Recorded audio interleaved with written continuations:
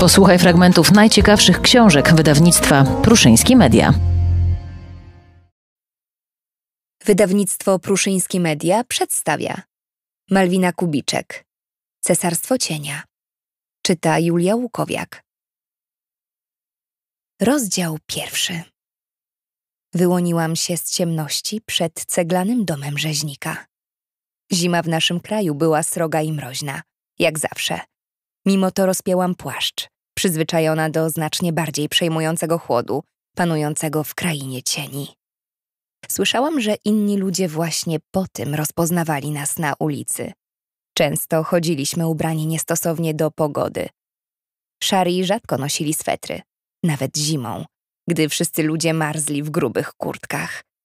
Nasz świat składał się z chłodu i ciszy, a gdy tylko wracaliśmy do miasta, dostawaliśmy ciepłe powitanie betonu i spalin. Chciałabym móc powiedzieć, że to był zapach domu. Tutaj jednak nikt z nas nie czuł się jak u siebie. Zapukałam dwa razy, chyba za mocno. Założyłam ręce za plecami i uniosłam głowę, starając się wyglądać profesjonalnie. Byłam dumna, że wykonałam pracę bezbłędnie. Bałam się tego dnia opuścić zakon, ale ze wszystkim się uporałam. Nie wszyscy na mnie stawiali. Uważali, że jestem zbyt miękka, zbyt lekkomyślna, by uniknąć pomyłki i jeszcze niewprawiona w uprawianiu rzemiosła. Choć trudno nazwać to, czym się zajmowaliśmy rzemiosłem. W końcu drzwi się otworzyły. Stanął w nich mężczyzna wysoki jak dąb i potężny jak dąb. Mimowolnie zrobiłam krok w tył. Jego niedbale wepchnięta w poplamione spodnie flanelowa koszula, aż prosiła się o wyprasowanie. Jedynie elegancko przystrzyżona broda i łagodne spojrzenie odejmowały mu nieco grozy. Widziałam go wczoraj w zakonie, gdy przyszedł z ofertą do mojego przełożonego. Kilka minut później usłyszałam, że w końcu otrzymam zadanie godne prawdziwych szari. Rzeźnik tylko z pozoru wydawał się niezbyt zamożny. Ubierał się niedbale, kulał na lewą nogę i dbał o to, by mieć przy sobie tylko kilka monet, nie więcej, aby ludzie sądzili, że marnie zarabia. Zdradzała go jednak postawa. Trzymał głowę wysoko. Innym wmawiał, że dom w bogatej dzielnicy otrzymał w spadku po rodzicach, ale prawda była taka, że zarabiał na ważeniu w piwnicy trunków o wątpliwym składzie i innych, mniej legalnych substancji. Sprzedawał je na czarnym rynku za pośrednictwem ludzi z branży, żeby nikt go nie wsypał. Za handel narkotykami w mieście mógłby posiedzieć jakiś czas w więzieniu. Za transakcje z Zachodem o wiele dłużej. Stąd jego bogactwo, a więc i możliwość wynajęcia kogoś z zakonu. Nasze usługi sporo kosztowały. Odłożyłem dla ciebie dzika. Wejdź. Powiedział, otwierając szerzej drzwi. Jego twarz zdobiły krople potu, które starł rękawem koszuli. Oczywiście nie było żadnego dzika. Udawał, ponieważ bał się, że ktoś z zewnątrz dowie się o jego interesach z cieniotkaczami. Na jego miejscu też bym się bała. Zlecając zabójstwo, trzeba się było liczyć z bandytami dyszącymi rządzą zemsty lub z policją. Umowa zakonu z cesarzem zakładała, że to zlecający przestępstwo ponosi ewentualną karę, a nie dokonujący go szari. Żeby jednak zostać ukaranym, trzeba dać się złapać. Dlatego cienie wykonywały swoją pracę jak najlepiej, to znaczy tak, żeby nie można było znaleźć żadnych dowodów mogących obciążyć zleceniodawcę. Byliśmy jedynie rękami sprawiedliwości. Działaliśmy w ciemności i po cichu załatwialiśmy cudze porachunki. Gdy tylko przekroczyłam próg domu, rzeźnik zamknął za mną drzwi na cztery spusty. Starał się ukryć zdenerwowanie, ale zdradzały go drżące ręce i rozbiegany wzrok. Szybkim krokiem wszedł do salonu i prawie rzucił się do jednej ze starych, pięknie zdobionych ornamentami szaf. Podążałam za nim, ledwo nadążając z podziwianiem pięknego wnętrza. Moje oczy napotykały złote rzeźby, czerwone dywany i kryształowe żyrandole. Nie miałam czasu napatrzeć się na te cuda, ukryte w niepozornie wyglądającym budynku. Jak się nazywasz? Spytał, szperając w jednej z szuflad. W końcu znalazł plik banknotów i papier, którego szukał, po czym położył je na etażerce. Wydobył długopis z kieszeni poplamionych spodni i zaczął coś kreślić na kartce. Szybko domyśliłam się, że była to część umowy, którą otrzymał od mistrza zakonu. Każdy zlecający dostawał taki papier i wypełniał go po zakończeniu pracy przez Shari. Było to potwierdzenie wykonania zlecenia i otrzymania wynagrodzenia. Li. Szepnęłam, zakładając za ucho kosmyk czarnych włosów. Co? Podniósł wzrok z nadkartki. Po prostu Li. Powiedziałam. Szef będzie wiedział, o kogo chodzi. Mężczyzna wzruszył ramionami, otarł pot z czoła i wrócił do pisania. Po chwili pstryknął przyciskiem długopisu i podał mi kartkę wraz z pieniędzmi. Powinien pan najpierw przyjąć dowód wykonania zlecenia. Powiedziałam, starając się opanować drżenie głosu. Chciałam wykonać pracę jak należy, tym bardziej, że było to moje pierwsze, poważne zlecenie. Przez chwilę myślałam, że mnie zignorował. Rzeźnik przesunął dłonią po twarzy, jakby męczyły go te wszystkie procedury. W zasadzie nie musiałam pokazywać mu dowodu, ponieważ to jemu powinno zależeć na tym, by mieć pewność, że praca została wykonana. Chciałam jedynie, by wszystko zostało zrobione właściwie. W porządku. Z kieszeni płaszcza wyjęłam pasemka włosów związanych rzemieniem i położyłam na stole. Były to kilkucentymetrowe, kasztanowe kosmyki, które ścięłam po porwaniu wskazanego mężczyzny. Kiedy przełożony przekazał mi to zlecenie, zdradził wszystko, co mu powiedział rzeźnik.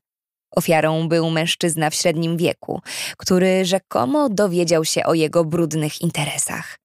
W naszym kraju, gdzie zakon cienia oferował swoje usługi każdemu, kogo było na nie stać, powszechne stało się wymierzanie sprawiedliwości poprzez zlecenia porwania lub morderstwa, choć to drugie zdarzało się rzadziej. Rzeźnik zdecydował się zapłacić fortunę, by ktoś wypił piwo, którego on naważył. Dlatego zabrałam wskazanego mężczyznę do krainy cieni, skąd nikt, poza nami, Shari, nie mógł uciec. Do świata, gdzie więziliśmy porwanych w celach, w których pozostało im czekać na śmierć. Rzeźnik głośno przełknął ślinę. Czy to już wszystko? W zasadzie tak, odparłam, przeliczając pieniądze. Upewniwszy się, że dostałam tyle, ile powinnam, ruszyłam w jego stronę. Czekał już na mnie przy drzwiach i otwierał zamki.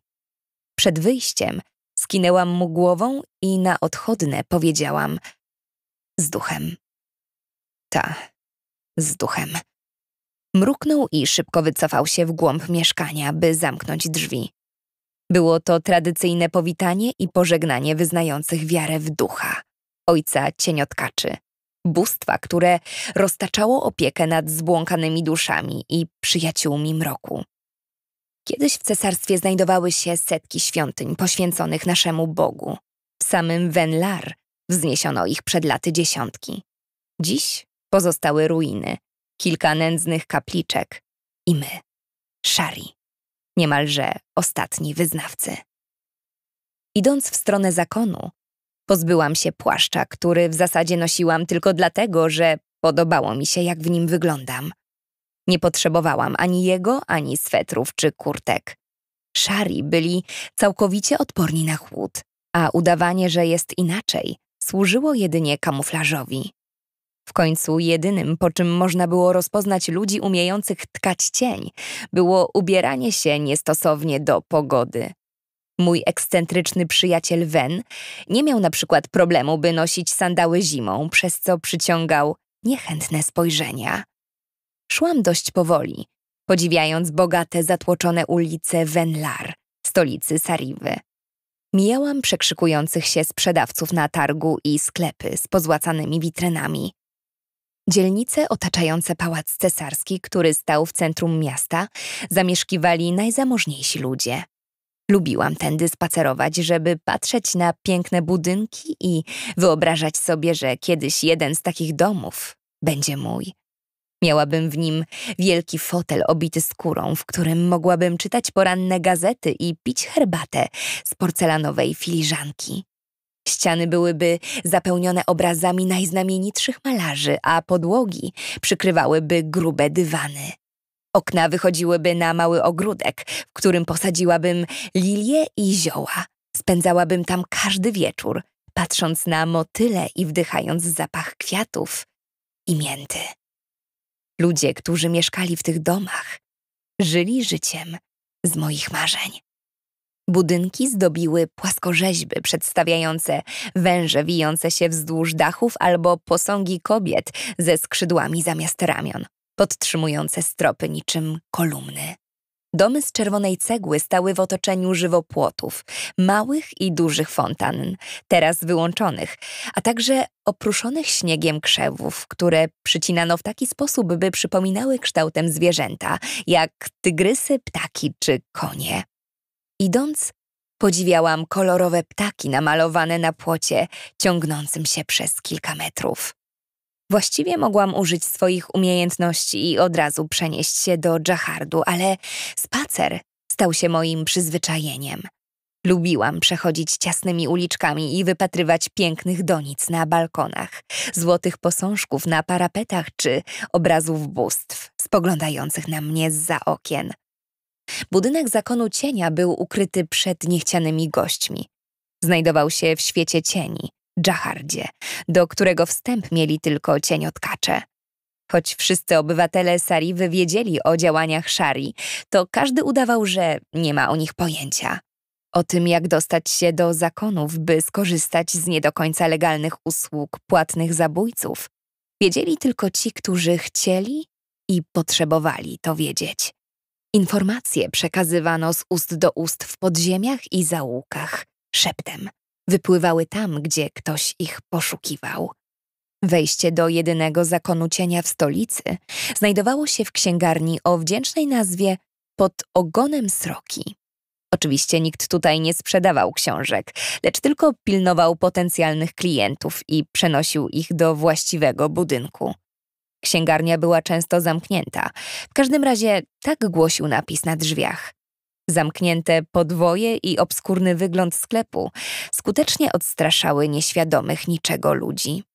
Ci, którzy chcieli trafić do zakonu cienia, musieli pogłaskać stojącą przy kasie figurkę w kształcie kota, na której wisiała tabliczka z napisem Nie na sprzedaż.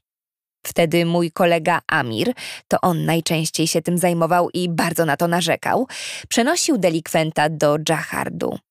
Weszłam do środka i zagadnęłam. Cześć, ty jeszcze tutaj? Przestań. Prawie tyłek mi zdrętwiał od siedzenia. Mam wrażenie, że to jakaś kara za samo moje istnienie. Westchnął teatralnie, po czym wstał i zamknął drzwi wejściowe na klucz. Ale właściwie skoro już wróciłaś, to ja też spadam. Kto to słyszał? Wszyscy się szykują na ceremonię, a ja muszę tu tkwić jak kołek. Trochę dziwnie się czuję z tym, że wszyscy przygotowują moje przyjęcie urodzinowe, a mnie nie ma na miejscu. Daj spokój. Jak sam skończyłem 17 lat, zapomniałem w ogóle, że mam urodziny, więc to była impreza, niespodzianka. Dobra, lecę się ogarnąć. Zobaczymy się później. Amir w jednej chwili stał przede mną, a w drugiej zniknął otoczony chmurą czarnego atramentu. Pogłaskałam po głowie kota z wytkniętym językiem, uśmiechając się do siebie i przywołałam cienie.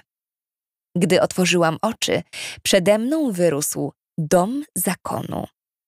Wyglądem przypominał rezydencję, która śmiało mogłaby konkurować z cesarskim pałacem, być może dlatego nie mógł się znajdować na widoku. Wyobrażam sobie złość cesarza, gdyby wiedział, że inny budynek przyćmiewa jego siedzibę. Gmach miał malutkie wieżyczki i wielkie okna, a po jego ścianach wiły się wspinające ku górze namalowane czarne płomienie. Jego widok przepełniał mnie dumą z mojego pochodzenia, a ściślej rzecz biorąc, z moich wrodzonych zdolności. Rzadko się tak czułam. Uśmiechnęłam się do siebie i weszłam do środka. Ledwo zdążyłam postawić stopę w progu, a ktoś wpadł na mnie z impetem i upadłam. Usłyszałam ciche przekleństwo. Podniosłam głowę, prawie zderzając się z właścicielką srebrnych włosów, które teraz przysłaniały jej twarz. Zaria odgarnęła je do tyłu i zmierzyła mnie wściekłym spojrzeniem. Gdzie tak biegniesz? Spytałam, kiedy pomogła mi wstać. Otrzepała suknię. Gdzie tak biegnę? Od dwóch godzin biegam, szykując twoją ceremonię. Czy ty w ogóle pamiętasz, że wypada pojawić się na własnych urodzinach? Dopiero teraz zauważyłam, że w rękach trzyma kilka lampionów. Wzięłam głęboki oddech, żeby jej odpowiedzieć, ale uprzedził mnie Wen, którego głowa pojawiła się w drzwiach. Zaria jak zwykle w dobrym humorze. Uśmiechnął się i szturchnął dziewczynę, nie przejmując się jej niezadowoloną miną. O, cześć Amir. Bardzo dobrze, że Li nie było. Szef specjalnie dał jej zlecenie, żebyśmy mogli przygotować zabawę. To nie jest żadna zabawa, to jest... Tak, tak, ceremonia. Odparł Wen, wypowiadając ostatnie słowo z wielką czcią. Poluzuj gorset, za bardzo się tym wszystkim przejmujesz. Wiecie co, ja chyba już pójdę. Mruknął Amir i przemknął w głąb korytarza, ale Wen i Zaria nawet nie odpowiedzieli, zajęci rozmową. To źle, że jako jedyna spośród naszej trójki traktuje pracę poważnie? Prychnęła. Ależ skąd?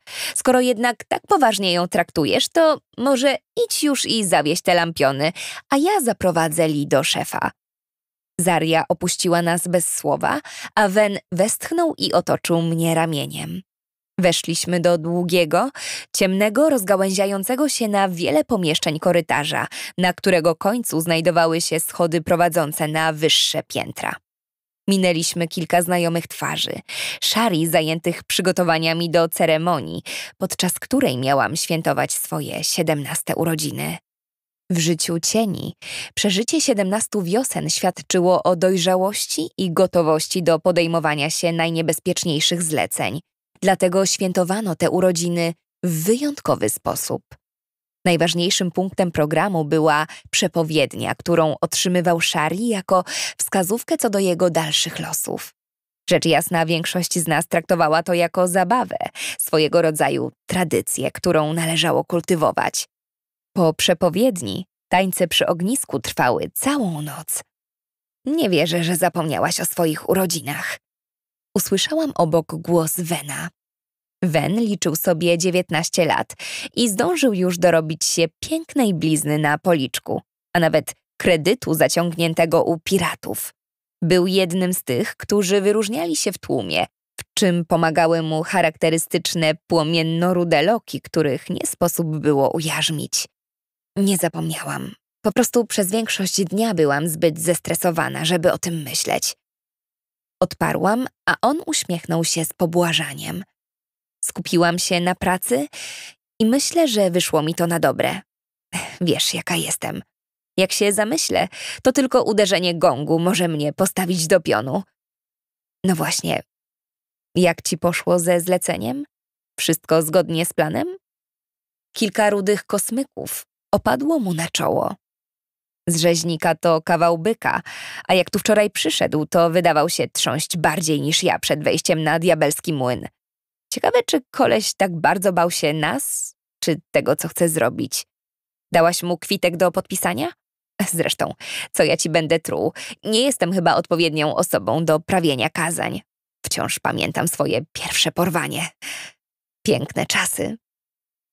Poszło dobrze. Wtrąciła mnie śmiało, nie chcąc go urazić. Gdybym pozwoliła, by mówił dalej, nie skończyłby nawet po moim wejściu do biura przełożonego. Złapałam człowieka, którego wskazał. Był sam w domu. Mieszkał blisko czarnego rynku, skąd pewnie skupował towar rzeźnika od jego kumpli. Może chciał go szantażować, żeby zdobyć pieniądze na narkotyki. Wen wzruszył ramionami. To już nie nasz interes. Ważne, że poradziłaś sobie bez problemu. Stawiał opór? Nie miał szans. Zaskoczyłam go. Chwyciłam za ramię Przeniosłam na drugą stronę i wróciłam, nim zdążył choćby wziąć oddech. Szybkość godna podziwu. Pokiwał głową z uznaniem. Stanęliśmy przed biurem mistrza zakonu. Drewniane drzwi zdobiły wyrzeźbione w nich lecące ptaki na tle gwiazd i złota tabliczka, z napisem oznajmującym, do kogo należy pokój. Załatw to szybko i idź się przygotować. Mistrz pewnie oszczędzić dzisiaj złotych rat. Też chce jak najszybciej stąd wyjść, w końcu musi uczestniczyć w zabawie. Powiedział przyjaciel, nim oddalił się w swoją stronę. Zapewne po to, by przebrać się zgodnie z zaleceniami Zari. Zobaczymy się później. Odparłam i zapukałam do drzwi. Gdy tylko usłyszałam głos przełożonego, weszłam do środka. Gabinet mistrza Iwara został urządzony skromnie, w przeciwieństwie do pozostałych pomieszczeń w zakonie. Każdy przedmiot, który się tutaj znajdował, był do czegoś potrzebny. Żadnych ozdób, tylko to, co mogło być przydatne w pracy. Nic więcej, nic mniej.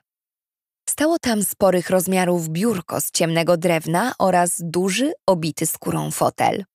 Regały po brzegi były zapełnione książkami i przedmiotami magicznego przeznaczenia, jak na przykład czaszka salamandry czy słój pełen maleńkich skrzydełek jakiegoś owada. Zawsze korciło mnie, by zapytać, jak te osobliwości znalazły się w jego zbiorach. W pomieszczeniu panował półmrok, podobnie jak na korytarzu. Zapewne miało to stworzyć odpowiedni nastrój, aby zachęcić zleceniodawców do skorzystania z naszych usług. Ludzie łatwiej wierzyli w kompetencje i zdolności cichych zabójców, gdy mogli zobaczyć miejsce, w którym pracują i żyją. Mrok dodawał nam tajemniczości, a patrzące zewsząd maski zawieszone na ścianach potęgowały uczucie strachu u przybyszów. Takie przynajmniej sprawiali wrażenie. Przerażonych. Mistrz zakonu siedział w wielkim fotelu i karmił ziarnami ptaka, zupełnie ignorując fakt, że stał on na stosie dokumentów, które pewnie czekały na podpisanie. Mistrzu, mam wypełnioną umowę. Powiedziałam, po czym wyjęłam pogniecioną kartkę z kieszeni. Szary ptak zaskrzeczał i wyciągnął szyję w moją stronę.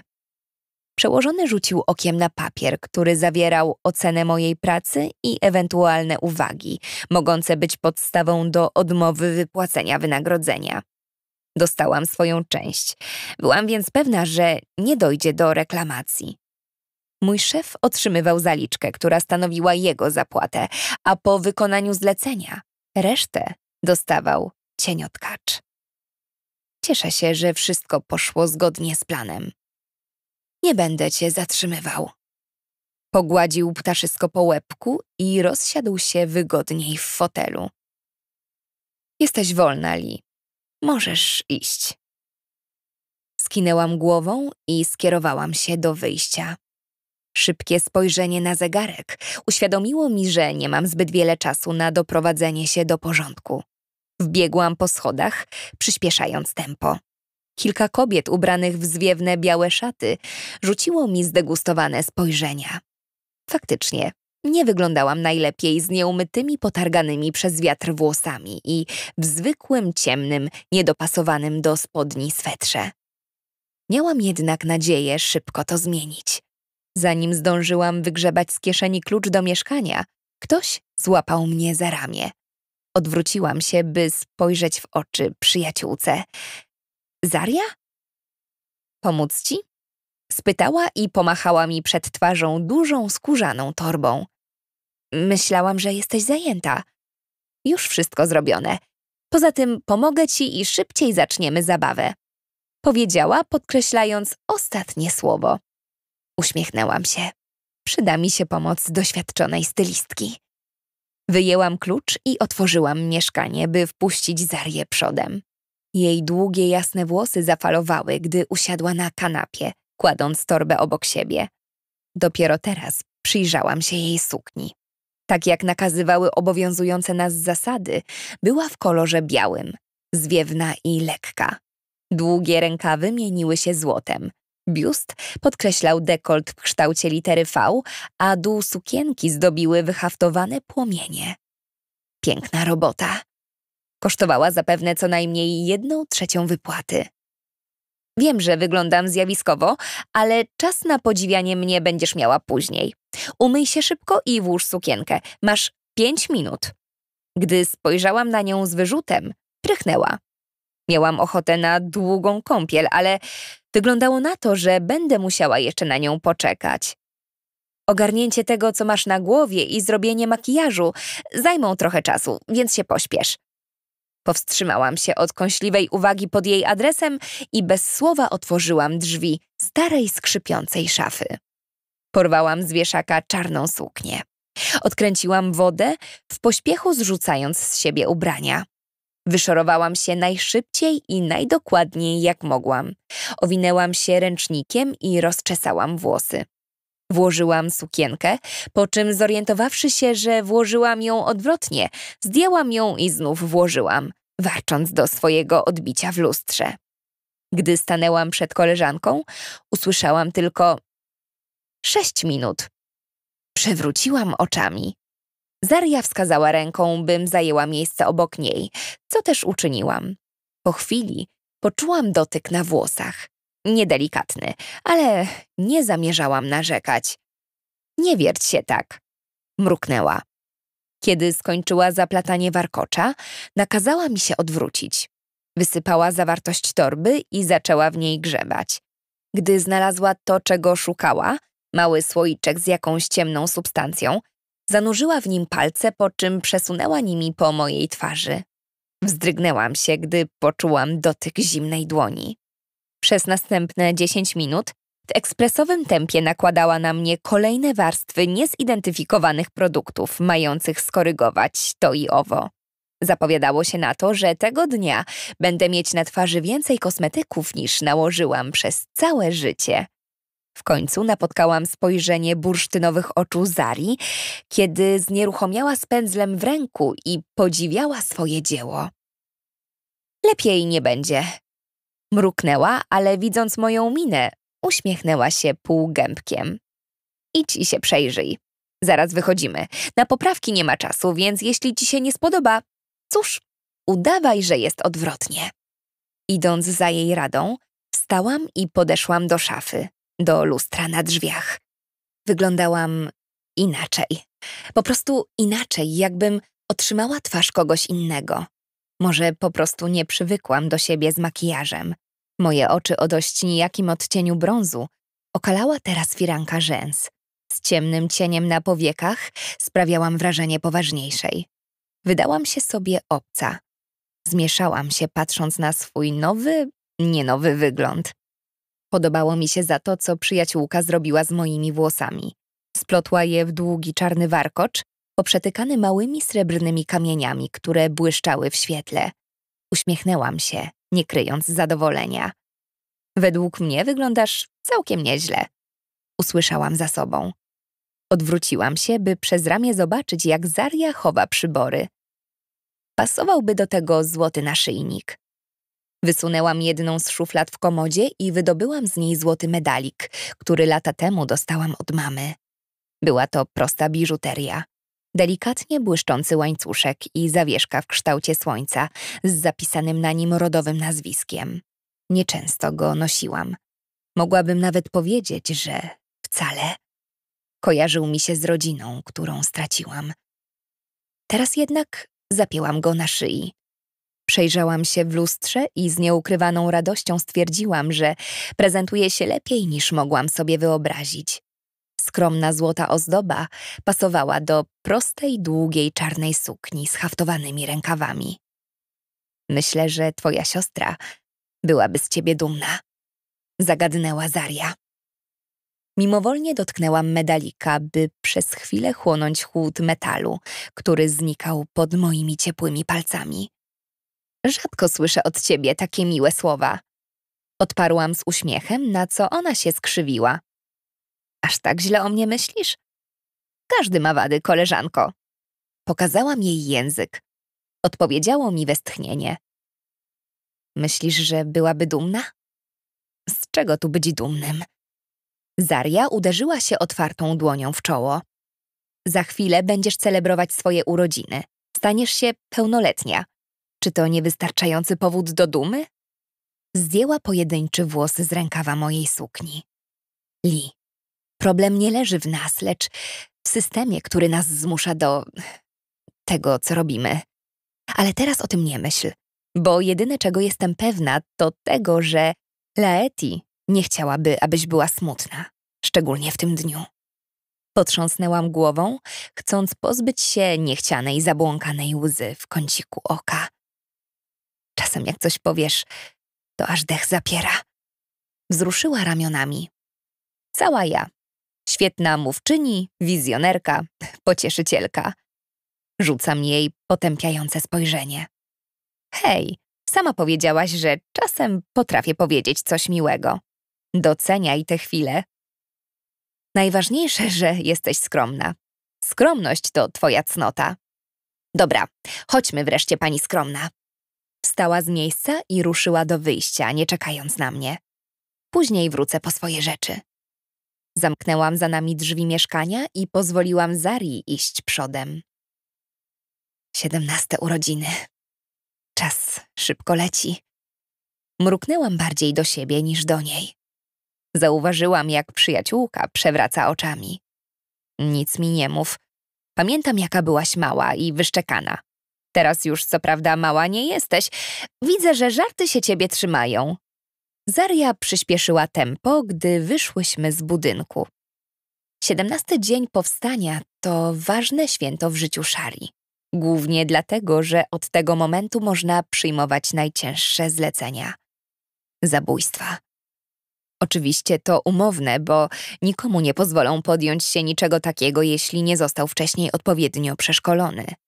Dawina dbała o moją naukę, odkąd tylko przestąpiłam próg zakonu.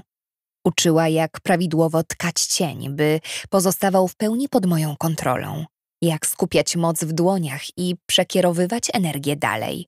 Wszystko po to, bym mogła wykorzystywać swoje umiejętności do tego, do czego szari nadawali się najbardziej, lub raczej na co zostali skazani. Zgodnie z wiarą wyznawaną przez Szari, siedemnastego dnia po swym narodzeniu duch przemienił się w cień. Wyzwolił pełnię swojej mocy i stał się nieśmiertelny. Posiadł magię tkania cienia. To właśnie dlatego celebrowaliśmy siedemnaste urodziny jako symboliczny moment wejścia w nowy etap osiągnięcie pełnoletności. W ceremonii uczestniczyli tylko dorośli. Dla młodszych to święto miało pozostać tajemnicą, dopóki sami nie osiągną wymaganego wieku. Tylko się nie potknij. Co? Spytałam, otrząsając się z zamyślenia. Przecież widzę, że duchem jesteś na innej planecie. O czym myślisz? O torcie Wery. To jedyne, o czym teraz myśli mój żołądek. Jeśli się nie pośpieszymy, możemy się już na niego nie załapać. Przeszłyśmy na tył posesji zakonu, gdzie niekiedy urządzaliśmy mniej lub bardziej huczne imprezy dla stowarzyszonych. Rzadko odbywały się na zewnątrz, mimo że niska temperatura nie szkodziła nam w żaden sposób. Ale te z okazji 17 dnia powstania, który celebrowano zawsze w urodziny, wymagały szczególnej oprawy. Chłopcy porządnie odśnieżyli teren i rozpalili wielkie ognisko, które płonęło już czarnym ogniem, głośno trzaskając i sypiąc iskry w stronę nieba. Na niskich drzewach wisiały lampiony, od których bił słaby żółty blask, a ziemię zdobiły grube kolorowe koce, zajmowane teraz przez szari. Niektórzy rozsiedli się przy ogniu, podśpiewywali wesołe piosenki albo krzątali się przy stołach zastawionych jedzeniem, którego przygotowanie zajęło zapewne cały dzień. Kilka osób zapalało pochodnie. Kobiety, młodsze i starsze, poubierane w białe szaty, przypominały leśne duchy. Nalewały wina do kielichów, podzwaniając biżuterią i śmiejąc się głośno. Fryzury miały skromne, niektóre zdecydowały się tylko upiąć włosy. Wyglądały pięknie, inaczej niż na co dzień, choć może tylko mnie wszystko wydawało się takie wyjątkowe. Mogłam patrzeć przez różowe okulary, które przekłamywały nieco obraz. Było to jednak uzasadnione ekscytacją w związku z osiągnięciem pełnoletności. Cieszyłam się tym dniem jak każda nastolatka. Tylko jeden szczegół różnił moje święto od urodzin obchodzonych przez nieobdarzonych. Oprócz tortu i fajerwerków czekały na mnie pochodnie i dudniące w uszach bębny. Wow, wyglądasz jak prawdziwa wiedźma, bomba! Wrzasnął Wen, który dosłownie wyrósł jak z podziemi tuż przede mną. Prawie krzyknęłam z zaskoczenia, gdy usłyszałam jego głos. Wen był tak głośny, że wydawało się niemożliwe, by umiał dobrze się skradać. Każdy szari powinien poruszać się bezszelestnie pomiędzy światem cieni a naszym, a Wen był jednym z tych, którym trudno się było tego nauczyć. No co? Rzucił w stronę Zari, a ona przewróciła oczami, słysząc jego komentarz. Magia makijażu. Odparła mnie, kryjąc uśmiechu. Bomba, powtórzył. Dobra, pogadamy, jak już załatwimy tę oficjalną część imprezy, żeby szef się nie zirytował. Chodzi dzisiaj jakiś podminowany. Pewnie podziobał go ten ptak czy coś. Wen, skończ mleć jęzorem. Przerwała mu Zaria, kładąc ręce na biodrach. Jak zwykle zapominasz o tym, co ważne. W co ty się właściwie ubrałeś? Wyglądasz jak przerośnięta papuga. Było w tym ziarno prawdy. Wen miał na sobie zieloną koszulę, czerwoną muchę w kropki i dość szerokie spodnie, które były w modzie, gdy chyba jeszcze żyli moi dziadkowie. Jemu najwidoczniej podobał się ten zestaw, ponieważ uniósł dumnie głowę i wyprostował plecy. Nie przeszkadzała mu też chyba dziura na kolanie. Zgodnie z obowiązującymi nas zasadami, w dniu ukończenia 17 urodzin każdy szari ubierał się w jasne stonowane barwy, najczęściej biel. Ten sposób wyróżniano jubilata, który przywdziewał czerń, co miało symbolizować jego wejście do kręgu dojrzałych cieniotkaczy. Wen prychnął i już otwierał usta, by odpowiedzieć, lecz Zaria nie dała mu dojść do słowa. Nieważne. Warknęła, odgarniając jasne kosmyki z czoła. Tego wieczoru nie splotła włosów w warkocz, jak to miała w zwyczaju, lecz pozostawiła je rozpuszczone, przez co wiatr nieustannie wprawiał je w ruch. Szybko przyłapała mnie na przypatrywaniu się jej fryzurze. Idę pomóc w przygotowaniu jedzenia, bo jak widzę, większość już się wygodnie rozsiadła i nawet nie pomyślała o obowiązkach. Westchnęłam, gdy oddaliła się w stronę stołów. Zawsze musi taka być? Spytałam bardziej siebie niż Wena, ale i tak otrzymałam jego odpowiedź. Gdyby mogła, matkowałaby nawet szefowi. A skoro o nim mowa, to szedłem właśnie po ciebie, żebyśmy zaczęli ceremonię. Prawie wszystko gotowe. Mistrz Iwar siedział na kocu rozłożonym pod jednym z nagich pozbawionych liści drzew. Żywo rozprawiał z kilkoma starszymi szari, których znałam tylko z widzenia. Nie omieszkał przy tym machać ręką, w której trzymał w połowie napełniony kielich. Kiedy podeszliśmy, przerwał opowiadanie dowcipu o trzygłowym smoku i odstawił naczynie na ziemię. Jeden z mężczyzn, z którymi rozmawiał, uderzył w mały gong, który leżał na jego kolanach, a gdy nie uciszyło to zebranego towarzystwa, powtórzył czynność jeszcze kilka razy. Kiedy wszyscy zamilkli, przełożony nakazał zbliżyć się do ognia, gdzie znajdowały się drewniane misy wypełnione kolorowymi substancjami. Szari otoczyli ognisko, a mnie wpuścili do środka kręgu, tuż przed mistrza ceremonii. Stojąc tak blisko czarnych płomieni, czułam ciepło parzące mnie w policzki i gryzący materiał sukni. Mistrz Iwar pogładził się po krótko przystrzyżonej czarnej brodzie i założył ręce za plecami. Płomienie głośno strzelały w stronę nieba, lekko zagłuszając jego przemowę. Przyjaciele, zanim pozwolę wam oddać się zabawie, by celebrować wejście jednej z nas w etap dorosłości, Muszę powiedzieć kilka słów. Starsi szari stojący po mojej prawej stronie uśmiechnęli się do siebie. Jak wiecie, siedemnastego dnia powstania duch przyjął postać cienia, zmienił swoją naturę, powrócił do korzeni. Dzięki temu osiągnął pełnię mocy. Jesteśmy zrodzonymi z cienia i powracającymi do cienia istotami, których prawdziwym domem jest Jahart. Niestraszny nam chłód i mrok. Nasze umiejętności wzbudzają lęk u mieszkańców wszystkich kontynentów. Wiara w ducha odpowiada im tylko wtedy, gdy kapłani przemilczają prawdę o jego postaci. Boją się go, ponieważ wiedzą o mocy, jaką władał. Przemówieniu mistrza towarzyszyły cisza i skupienie malujące się na twarzach moich towarzyszy.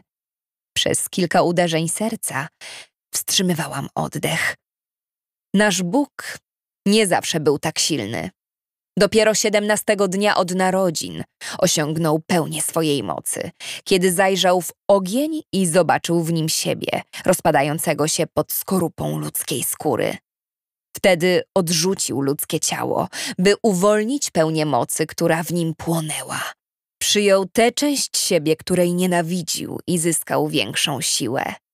Dzięki temu mógł później stanąć do walki przeciwko potworowi z wulkanu i uwięzić go w Dżachardzie, by już nigdy nie zagroził śmiertelnikom.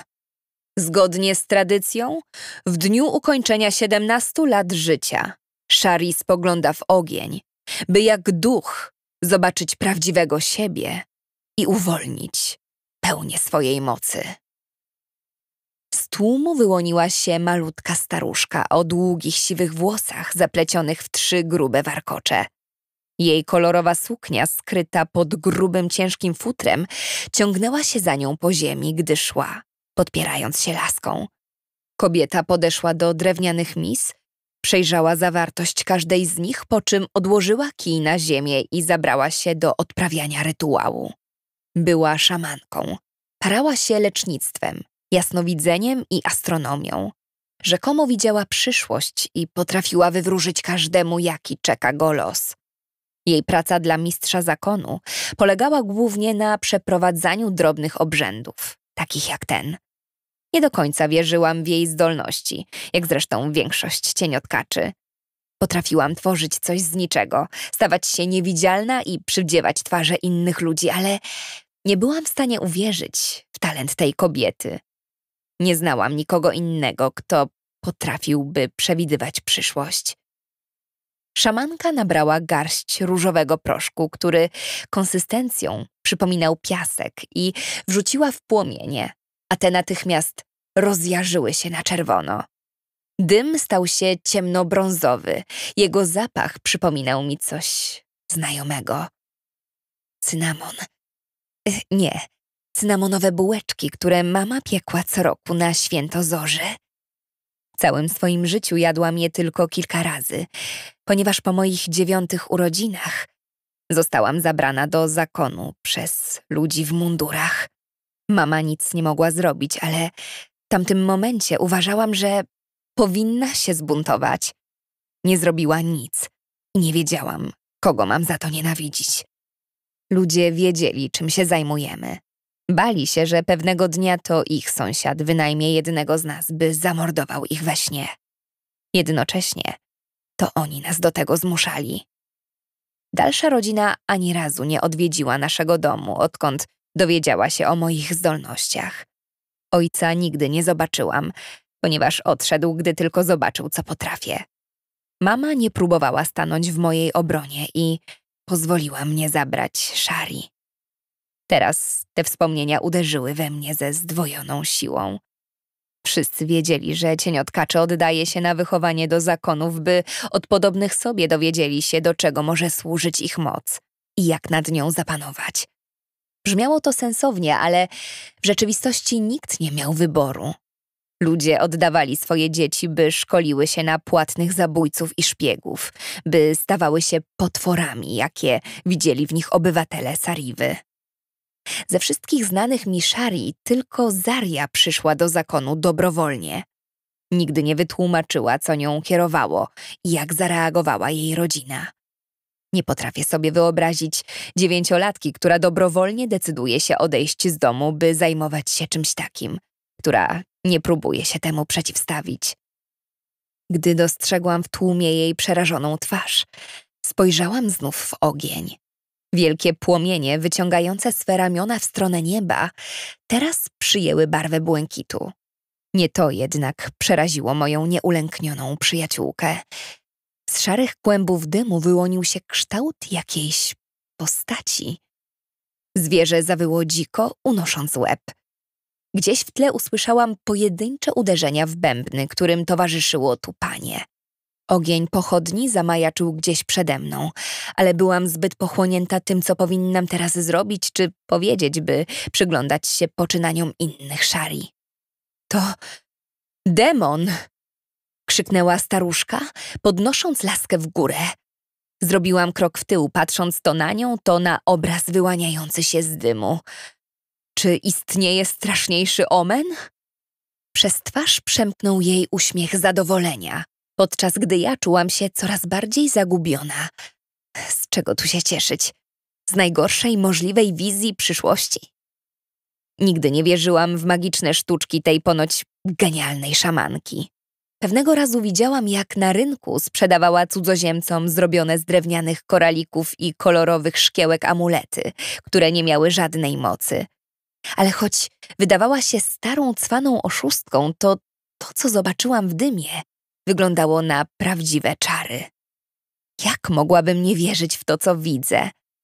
To wszystko nie mogło być prawdziwe.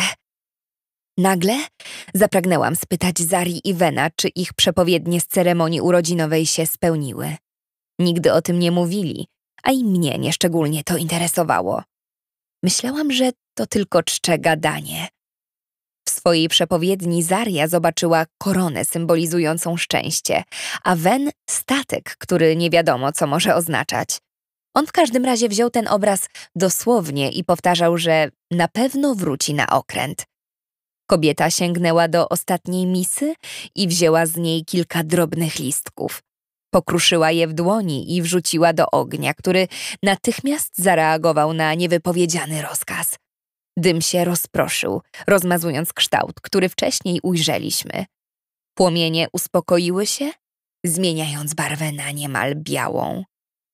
Poczułam zapach ryb specyficzny zapach słonego morza, którego nie można pomylić z żadnym innym. Ta woń kojarzyła mi się z dużym białym domem na plaży, z moją małą siostrą, grzebiącą w piasku i z parzącym słońcem. Płomienie, które jeszcze przed chwilą przypominały spokojne morze, teraz niemal wrzały i na powrót stały się czarne. Uderzenia bębnów przyspieszały, podobnie jak tupanie ciężkich butów. To nie był jeszcze koniec przepowiedni. Nadchodziło coś jeszcze. Miałam rację. Najpierw z dymu wyłoniły się patrzące złowrogo złote oczy, po czym zniknęły, zdmuchnięte niczym płomień świecy. W ich miejsce pojawiły się dłonie trzymające koronę, po której spływała czerwona ciecz. Nikt nie musiał pytać, co to oznacza. Śmierć cesarza? Koronacja jego syna? Może ja miałam zabić cesarza? Jeśli nie, to dlaczego w mojej wizji zapisany został czyjś los? Nawet nie wiedziałam, czy powinnam się tym przejmować. Szamanka, jak chciała siebie nazywać staruszka, najprawdopodobniej była oszustką, a cała przepowiednia została zaaranżowana i udramatyzowana.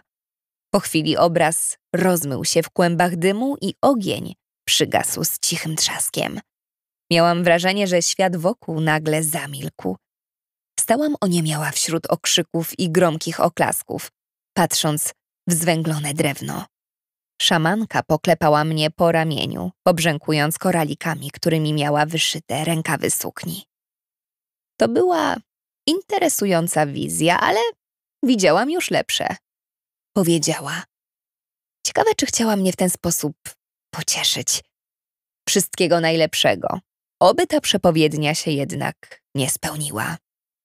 Powodzenia. Skłoniła się mistrzowi Iwarowi, który wciąż stał nieruchomo w podobnym otępieniu jak ja, i odeszła, żegnając się z kilkoma starszymi szari. Na twarzach otaczających mnie kolegów zauważyłam wypisany niepokój. Wszyscy szeptali między sobą, a ja czułam, jak płoną mi policzki. Mój przełożony szybko odzyskał rezon. Skoro Lee została obdarowana wizją, to pozostaje mi życzyć wam dobrej zabawy. Powiedział, zachowując powagę. Zgodnie z tradycją zaczynamy od tańca duchów. Ustawcie się, proszę. Wen, łapy precz od sałatki. Odpowiedział mu śmiech. Chyba tylko Wen był w dobrym humorze po tym, co zobaczyliśmy. Musieliśmy chwilę poczekać, aż mój przyjaciel przełknie to, na co akurat się połakomił i zajmie swoje miejsce. Już od kilku lat Wen zabawiał wszystkich grą na fujarce i jego dołączenie do zakonnej orkiestry było tylko formalnością. szybko nauczył się gry na flecie, żeby przydać się do czegoś. Bębny zwolniły i dołączył do nich Wen. Jak sam mi kiedyś powiedział, gry na fujarce nauczył się na statku. Podobno była to umiejętność, którą prędzej czy później nabywał każdy wilk morski. Co prawda od fujarki do fletu daleka droga, ale on twierdził, że te instrumenty są wręcz identyczne. Dźwięki płynące z fletu, na którym grał, obniżyły się i brzmiały jak zapowiedź burzy, której ślady można dostrzec na zachmurzonym niebie. Kobieta o jasnych, kręconych włosach chwyciła mnie za rękę i poprowadziła w stronę pozostałych szari. Większość mężczyzn zajęła już miejsca na ziemi, aby wyklaskiwać rytm do tańca. Wśród ubranych na biało dziewczyn spodziewałam się ujrzeć Zarię w pięknej białej sukni, ale nigdzie jej nie widziałam. Dołączyłam do długiego rzędu zwiewnych tkanin i dzwoneczków, które podzwaniały przy każdym ruchu. Taniec duchów zaczynał się powoli, od spaceru po linii elipsy, z przerwami na obroty i ukłony. Jako jubilatka zostałam zmuszona do poprowadzenia naszej grupy pomiędzy grającymi mężczyznami. Kątem oka zauważyłam, że ktoś zajął się ponownym wyczarowywaniem ognia, wokół którego byliśmy zgromadzeni. Podeszłam do ognia odprowadzana klaskaniem, tupaniem i biciem w bębny. Płomienie stopniowo unosiły się ku niebu, podobnie jak muzyka, której tempo narastało z każdą chwilą. Do symfonii dołączyły marakasy i tamburyny. Przyspieszyłam. Nasze ukłony wyglądały teraz inaczej. Rozpościerałyśmy ramiona i klękałyśmy na kolano. Piruety stały się szybsze i częstsze. Suknie wirowały i podzwaniały delikatnie. Spacer zmienił się w prawdziwy taniec. Dwa kroki w prawo, jeden w lewo, wspomagane kołysaniem bioder. W końcu dołączyli do nas mężczyźni, wszyscy w jednym momencie. Umilkł flet, a w bębny uderzali teraz tylko starsi szari, którym zdrowie nie pozwalało na taniec. Gdy podniosłam się z klęczek po kolejnym ukłonie, napotkałam czuprynę w kolorze płomieni. Odwzajemniłam uśmiech Wena, gdy przyłożyłam dłoń do jego dłoni. W tej chwili rozpoczął się prawdziwy taniec cienia. Tańcowi powinna towarzyszyć radosna atmosfera, ale wciąż czułam, że wszyscy są przejęci moją przepowiednią. Atmosfera była tak gęsta, że chyba nawet tort nie zdołałby rozładować napięcia. Wen uklęknął, a ja okrążyłam go tanecznym krokiem, przerywanym obrotami wokół własnej osi. Gdy skończyłam, role się odwróciły. Następnie część par pozostała w miejscu, a inne chwytały się pod ramiona i okrążały siebie nawzajem. Gdy powtórzyliśmy cały układ jeszcze kilka razy, zamieniając się miejscami, myślałam, że wyzionę ducha. Rytm wyznaczany przez bębny i szelest grzechotek przyspieszył do granic możliwości, nie dając nam chwili odpoczynku. Taniec stał się szybki i dziki, pełen podskoków i chaotycznych piruetów. Kiedy muzyka zamarła, ujęłam Wena pod ramię. Uśmiechnęliśmy się do siebie nawzajem i udaliśmy się z resztą grupy jak jeden mąż w stronę stołów z jedzeniem. Nie wiedziałam, kto w tym roku wziął na siebie przygotowanie potraw, ale wszystkie wyglądały pięknie. Stoły wręcz uginały się pod ciężarem żywności. Było tu wszystko. Owoce w syropie, słodkie ciastka z kremem, pieczona kaczka z pomarańczami, miód pitny, sałatki z orzechami, ciemne mięso w sosie, wędzone ryby, galaretki. Gwoździem programu, jak co roku, był płonący tort Wery, jednej z weteranek zakonu cienia. Podobno jego sekretnym składnikiem był smoczy owoc, o czym dotychczas nie mogłam się przekonać. Sięgnęłam po kawałek jako pierwsza. Widziałeś gdzieś Zarię? Chyba była podczas obrzędu, a później gdzieś zniknęła. Zagadnęłam Wena, gdy usiedliśmy na wolnym kocu pod jedną z płaczących wierzb. Przez chwilę mi nie odpowiadał, zajęty pożeraniem małego stosu jedzenia, który znajdował się na jego talerzu. Gdy zapełnił częściowo swój wiecznie głodny żołądek, odparł: Nawet nie zauważyłem, że wyszła. Zresztą to chyba nic dziwnego. Częściej jej nie ma niż jest. Ton, jakim wypowiedział te słowa, sugerował nieskrywaną urazę i dobrze rozumiałam jej powód. Każdy ma swoje sekrety. Odparłam, sama nie wiedząc, dlaczego próbuję usprawiedliwić przyjaciółkę. Ja nie. Przed bliskimi nie powinno się mieć sekretów. Tak mnie wychowano. Jak mam być z nią szczery, skoro ona okłamuje mnie na każdym kroku? Uniosłam brew. Jest coś, o czym nie wiem? Wen prychnął. Kąciku jego ust zauważyłam lukier. Mam poważne przeczucie, że ona coś kombinuje. Bo nie siedzi z nami cały czas? Wen, teraz przesadzasz. Nie możesz od niej wymagać, żeby ci się ze wszystkiego zwierzała. Odburknął coś w odpowiedzi. Zdążysz umówić się z nią na randkę, o to się nie martw. Poklepałam go po plecach. Nagłe rumieńce na jego policzkach mówiły same za siebie. Sięgnęłam po jagody.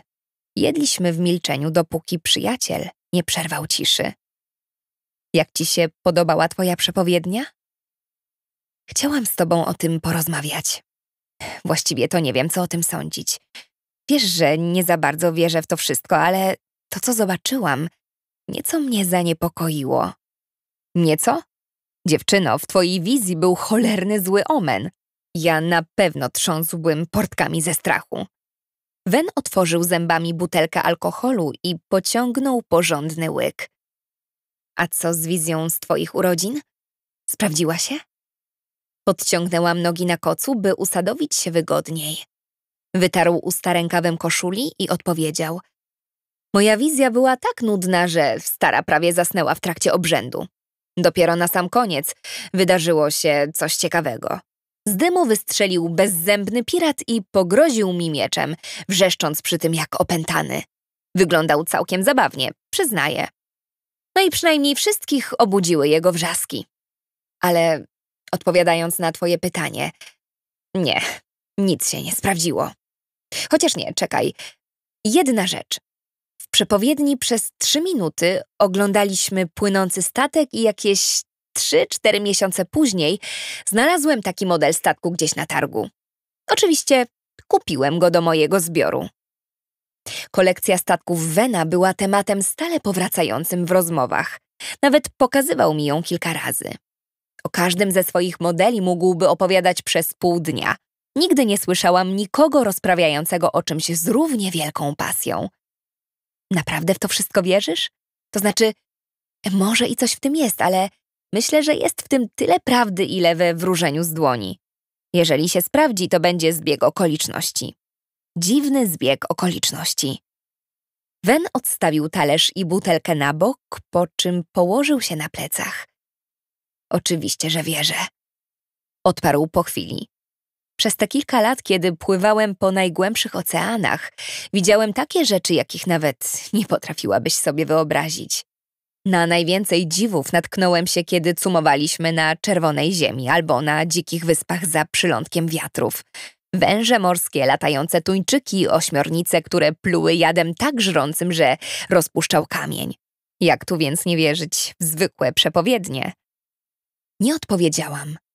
Położyłam się obok niego i przez dłuższą chwilę wsłuchiwałam się w muzykę graną przez naszych towarzyszy.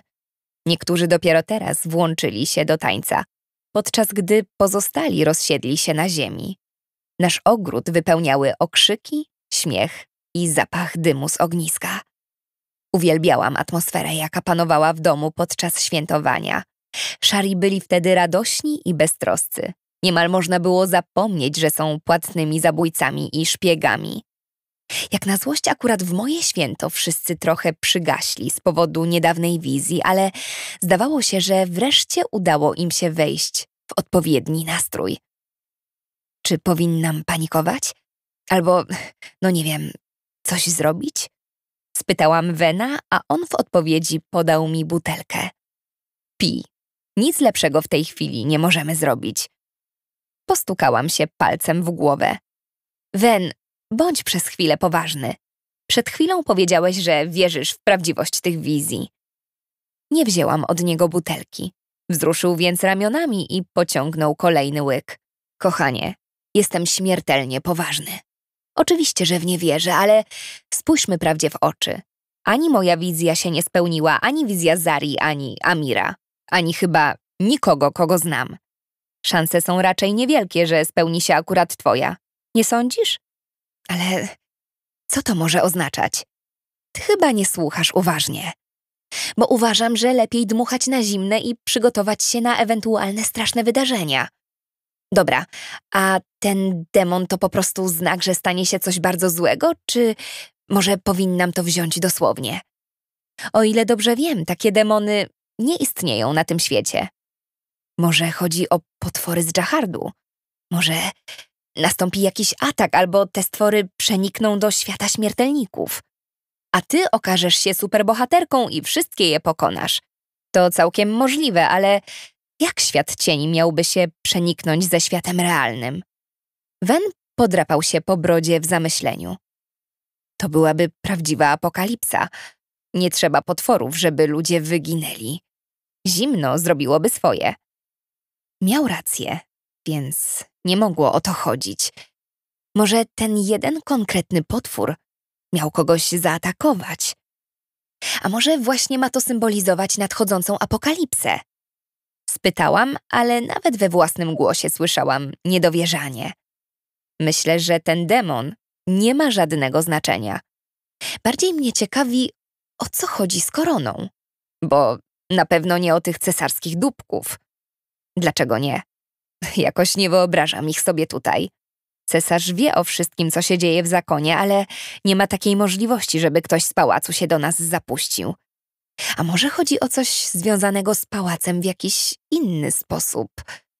Mówił, stukając palcem w butelkę. Niby w jaki? A bo ja wiem. Może dostaniesz jakieś zlecenie, żeby zabić służącego? Albo cesarz zlikwiduje zakony cienia, bo się wkurzy. Wzruszył ramionami. Tak naprawdę może chodzić o wszystko. Znów przyznałam mu rację. W przepowiedni Zari też pojawiła się korona i nie zdarzyło się nic, co można by powiązać z cesarzem. Może w takim razie był to tylko symbol szczęścia? Albo może władzy? Myślami przywołałam przyjaciółkę, która po chwili zmaterializowała się obok nas z kawałkiem kurczaka w ręce. Aż podskoczyłam w miejscu, gdy nagle położyła mi dłoń na ramieniu. Uważaj, Li, nie możesz dać się tak zaskakiwać. Rzuciła, śmiejąc się. Usiadła obok nas i wgryzła się w mięso. Wen zagwizdał. Proszę, proszę, kogo my tu mamy? Powiedział, lustrując ją od stóp do głów. Mówiłem już, że ładnie dziś wyglądasz? Szczególnie z tym kurczakiem w ręce. Zaria uśmiechnęła się półgębkiem. Umiesz prawić komplementy kobiecie. O czym rozmawiacie? Usłyszałam coś o koronie i nie powiem, brzmiało to ciekawie. A tak sobie tutaj plotkujemy. O strasznych wizjach przyszłości i tym podobnych. Za to bardziej ciekawi nas, gdzie byłaś? Odbił piłeczkę Wen. A nie widać? Pomachała nóżką kurczaka. No tak, ale gdzie byłaś wcześniej? Uwierz, obserwuję stoły z jedzeniem bardzo uważnie i ciebie tam nie widziałem. To przesłuchanie? Zaria parsknęła śmiechem. Pochlebia mi, że tak się interesujesz moim życiem, ale teraz trochę przesadzasz. Wen już otwierał usta, by rzucić jakąś uwagę, lecz mu przerwałam. Wiecie co? Ja chyba pójdę potańczyć. Jakkolwiek by patrzeć, to moje urodziny, a zamiast się bawić, zamartwiam się przepowiednią, w którą i tak nie za bardzo wierzę. Wstałam. Zaria poszła w moje ślady. Idziesz, czy będziesz tu leżał i zastanawiał się nad tym, co robię w wolnym czasie? Dogryzła Wenowi, ale on tylko machnął ręką. Chyba wypiłem za dużo wina. Spojrzał na butelkę z obrzydzeniem. Gdybym poszedł tańczyć, mogłoby to się źle skończyć. Dołączyłyśmy do pozostałych wokół ogniska. Zauważyłam Amira tańczącego z jakimś chłopakiem. Pomachał nam pomiędzy jednym piruetem a drugim. Gdzieś w tłumie mignęły mi różowe włosy Wery. Mistrz zapewne już poszedł. Nigdy nie zostawał zbyt długo na zabawach. Muzyka grała nieustannie, szybka i wesoła. Co jakiś czas rytm zmieniał się na wolniejszy, żeby dać nam chwilę wytchnienia. Soki i poncz lały się litrami. Tort już dawno się skończył, ale stół nadal uginał się od jedzenia. Wszystko zniknie dopiero wtedy, gdy wszyscy porządnie się wytańczą. Cienie poruszały się na sukni Zari. podobnie jak blask księżyca na jej srebrnych pasmach. Wyglądała wspaniale, mimo że długie włosy wpadały jej do ust, a makijaż zdążył się już lekko rozmazać. Stuknęła się kielichem z Dawiną, która pojawiła się obok nas, żeby złożyć mi krótkie życzenia. Tańczyłyśmy tak długo, aż nogi odmówiły mi posłuszeństwa. Zaria piła poncz i bawiła się dalej, jakby w ogóle się nie męczyła. Wróciłam do Wena, zostawiwszy ją z resztą towarzystwa. Wen chrapał. Pchnęłam go więc lekko łokciem pod żebra. Obudził się, rozejrzał zdziwiony i podniósł do góry butelkę, udając, że wznosi toast, a potem pociągnął łyk. Leżeliśmy w ciszy, czerpiąc garściami muzykę, która rozbrzmiewała w całym ogrodzie. Patrzyłam w gwiazdy pojawiające się na niebie i wdychałam chłodne powietrze do płuc. Rozłożyliśmy się daleko od ogniska i ciepło płomieni tutaj nie docierało, ale i tak mi nie było zimno, nawet gdy zaczął pruszyć śnieg. Wen po chwili znów zasnął. Mój siedemnasty dzień powstania zakończył się, gdy zgasła na niebie ostatnia gwiazda. Kiedy nad ranem kładłam się do łóżka, całkowicie zapomniałam o przepowiedni. Słowa Wena upewniły mnie w tym, że nie mam się czym martwić. Wtedy jeszcze nie zdawałam sobie sprawy, w jak dużym byłam błędzie. Rozdział drugi.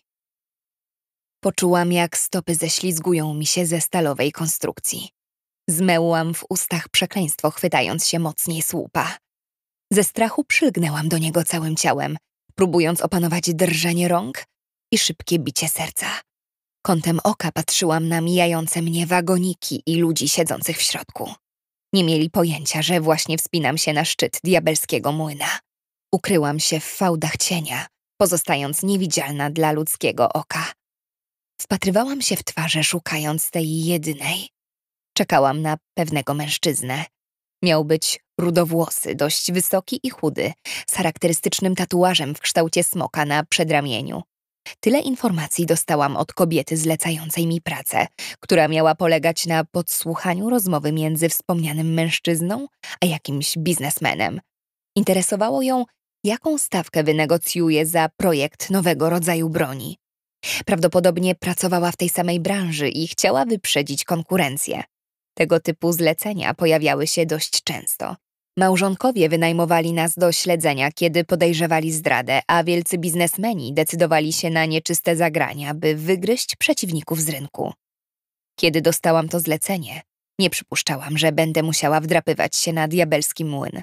Ten wyczyn byłby niewykonalny, gdyby nie moc niewidzialności. Przydałaby się jeszcze umiejętność latania, pomyślałam. Przeklinałam się w duchu, że więcej nie ćwiczyłam. Moje mięśnie były słabe, bo wprawiałam się w używaniu magii, ale nie dbałam o wytrzymałość i tężyznę fizyczną. Teraz tego żałowałam.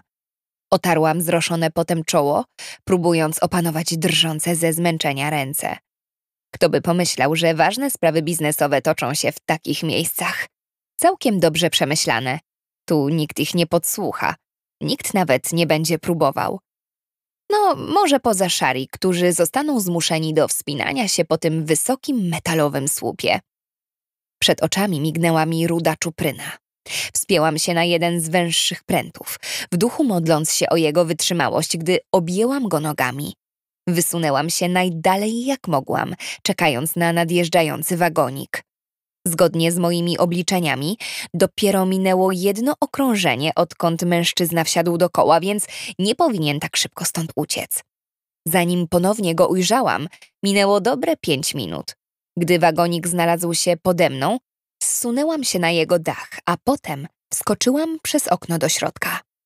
Prawie zderzyłam się głową z... Venem? Cholera, skąd on się tu wziął? Czyżbym pomyliła przyjaciela z mężczyzną, który był moim dzisiejszym celem?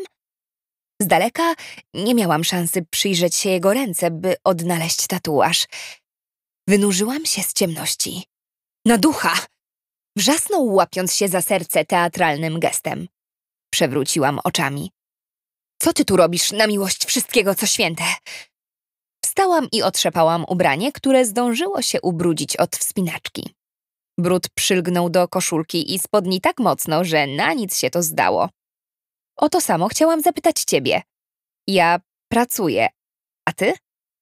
Chyba robię to samo, ale na razie zbyt dobrze się bawię, żeby mogło to uchodzić za pracę. Uśmiechnął się i poklepał miejsce obok siebie, zapraszając mnie, bym usiadła. Nie uczyniłam tego. Zamiast tego stanęłam bliżej drzwi, wypatrując osoby, której szukałam. Jakiś koleś opłacił morderstwo innego kolesia, którego śledzę od dwóch dni, bo jak na razie pałęta się tylko po miejscach publicznych, gdzie świadków będzie na pęczki. Wyobraź sobie, że od godziny już jeździ tym cholerstwem. W takim razie, co to za zabawa? Przecież masz lęk wysokości. No tak, nie mówiłem o tym. Byliśmy już na zakupach, w teatrze, a nawet oglądaliśmy nielegalne walki w tunelach. Tyle to ja nie przeżyłem przez całe życie, Li. No, może nie licząc lat spędzonych na morzu. Miałam wrażenie, że zieleń w jego oczach stała się jeszcze intensywniejsza. Kiedy wspominał o swoim życiu przed wstąpieniem do zakonu, ożywiał się. A ty jak spędzasz ten piękny dzień? Uśmiechnęłam się pod nosem. Na śledzeniu pewnego rudowłosego chudzielca. Hm? Ścigam osobnika, który wygląda jak... Przerwałam, nagle dostrzegłszy przez okno charakterystyczny ognisty kolor. Tym razem ta ruda czupryna należała do właściwej osoby. Muszę lecieć, na razie. Pożegnałam się i zanurzyłam z powrotem w ciemności, znikając Wenowi z oczu. Zanim wspięłam się na dach wagonika, usłyszałam jego słowa. Tylko nie zgub własnego cienia. Takie rady możesz zostawić dla siebie, Wen. Zachwiałam się, gdy próbowałam wstać. Opadłam znów na klęczki, usiłując złapać równowagę. To było trudniejsze niż sądziłam. Każdy podmuch wiatru mógł zrzucić mnie z dachu. Powoli się podniosłam, rozkładając ręce na boki, żeby utrzymać się w pionie. Wzięłam dwa wdechy i uspokoiłam się na tyle, by znów móc skupić się na zadaniu i nie polecieć przy tym kilkadziesiąt metrów w dół. Próbowałam wyobrazić sobie reakcję ludzi, gdybym nie była niewidzialna. Mój spacer po kole muńskim zapewne wyglądałby nietuzinkowo, jak występy cyrkowców na trapezie. Ktoś na pewno zdążyłby zawiadomić wojsko, żeby ściągnęło mnie na ziemię. Jest. Pięć wagoników ode mnie. Kilka metrów niżej dostrzegłam rudowłosego mężczyznę. Moja wędrówka w przestworzach musiała trwać dalej. Zsunęłam się na pręt i zjechałam na drugą stronę koła, podpierając się rękami. Zeskoczyłam na dach kabiny, w której zauważyłam mój dzisiejszy cel. Usiadłam w oknie wagonika naprzeciwko mężczyzn pogrążonych w rozmowie. Teraz jedyne, co musiałam zrobić, to zapamiętywać. Ile wam zajmie przygotowanie prototypu? spytał rudy mężczyzna, którego zleceniodawczyni nazwała Arenem. Dwa lata, jeśli wszystko pójdzie zgodnie z planem. Odparł w końcu jego rozmówca, drapiąc się po brodzie. Pomysł jest przełomowy, a na wszystko, co przełomowe, potrzeba dużo czasu. Same testy broni potrwają dość długo. Obaj mężczyźni pochylili się nad plikiem kartek ze szkicami. Spojrzałam im przez ramię, ale nie potrafiłam niczego wyczytać z notatek. Broń wyglądała prawie jak rewolwer, który widziałam może dwa razy w życiu. Daję waszej firmie coś, co pozwoli wam zdominować rynek. Coś przełomowego. Przeprowadziliśmy już potrzebne badania. Wiemy, że cząsteczki promienia naprawdę mogą uszkadzać strukturę cienia. Aren zaczął wymachiwać rękami. Tego nie było jeszcze na rynku, ale już niedługo może być. Założę się, że inni szybko wpadną na ten sam pomysł. Nie neguję tego, dlatego zgodziliśmy się na współpracę, ale nie mogę lekceważyć faktów, a fakty są takie, że to wszystko potrwa. Westchnął brodaty mężczyzna. To jest rewolucyjny pomysł i trzeba się z nim obchodzić delikatnie. Broń, która będzie mogła ciąć cień? Jak to możliwe? Magii nie da się pokonać żadnym ostrzem, żadną kulą. Jeżeli coś takiego powstanie, to będzie nasz koniec. Więc Faprin łączy się z jaspianem i powstaje z tego wiązka, która może przeciąć nawet cień. Niesamowite, mruknął starszy z rozmówców. przeglądając szkice. Zróbmy tak. Przeprowadzimy testy na własną rękę. Doręczycie nam dokładne obliczenia i wasze wyniki. Jeżeli wszystkie parametry będą się zgadzać, zaczniemy od razu produkcję. Ewidentnie celowo nie wdawali się w szczegóły.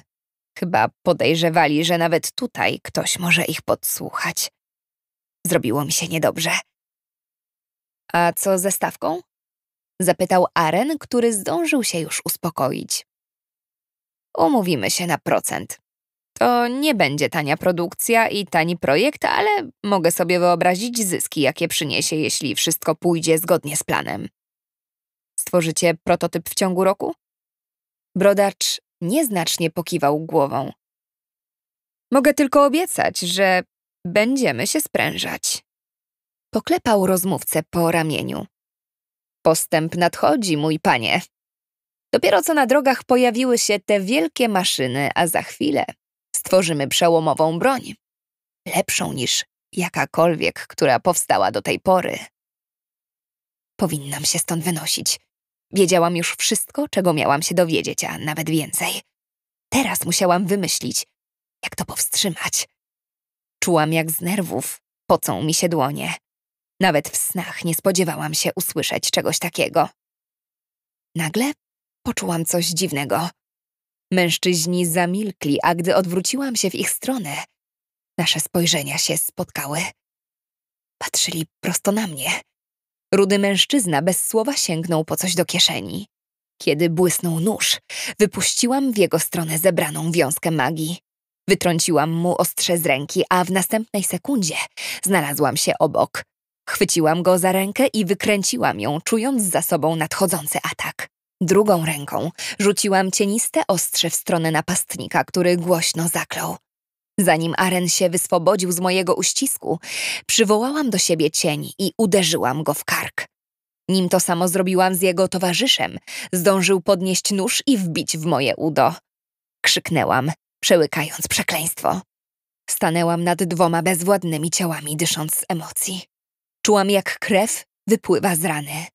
Dopiero po chwili uświadomiłam sobie, co się stało. Tak się zdenerwowałam, że przestałam kontrolować moc. Wyszłam z cienia, tym samym ujawniając swoją obecność. Cholera, musiałam przecież coś z nimi zrobić. Wciąż żyli. Nie mogłam ich tutaj zostawić, bo będą wiedzieć, co się stało i kto ich zaatakował. Zabrać ich do Dżahardu?